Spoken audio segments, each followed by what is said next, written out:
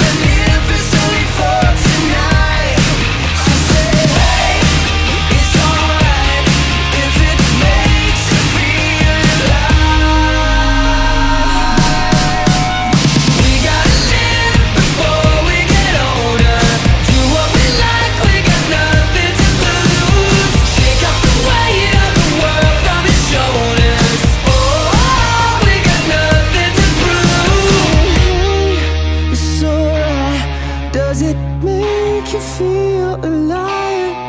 Don't look back, live your life, even if it's only